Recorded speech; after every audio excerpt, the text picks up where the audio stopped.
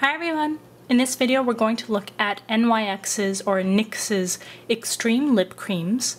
These are $6 each and they're supposed to be a hybrid between a lip gloss and a lipstick and they're supposed to be very, very pigmented. There are a total of 11 colors.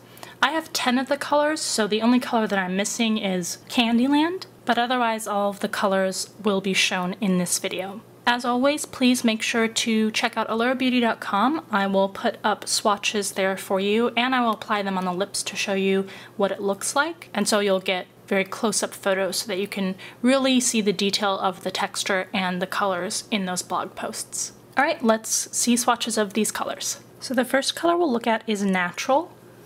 And I just also want to show you the packaging here. So it comes in this tube and you have a doe foot applicator. Right, so here is natural, and as you can see, it is an extremely pigmented color here, kind of a pinky nude. Next is Nude Peach Fuzz. So this color is more pink than it is nude, and it's brighter than the first color here. Next is Buttery Nude. We're getting into the deeper neutral tones here. So this one leans almost toward a brick hue. Next we have Skin Tone. This is a more brown toned deep nude color. Next is Pinky Nude. This is a cerise type pink color. Here we have Bonfire. This is more of a ruby pink. Dolly Girl. This is a really bright hot magenta. Strawberry Jam.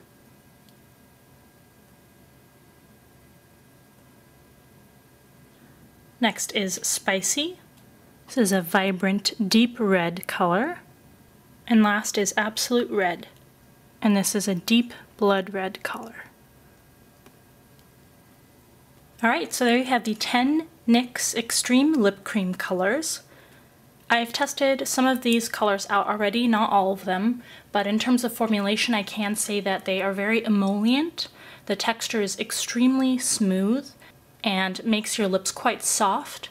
They don't tend to emphasize lip lines. They are very opaque in color and they are more long wearing than your typical lip gloss or even lipstick. They seem to adhere to the skin much better than your average lip gloss or lipstick. So as I said before, I'll have more in-depth reviews that I will post over time on allurabeauty.com where you can see more in-depth photographs. Please feel free to ask any questions that I haven't already answered or that aren't answered on the blog or in the description box, or share your thoughts if you have any of these colors. I hope you enjoyed this video. Thanks for watching.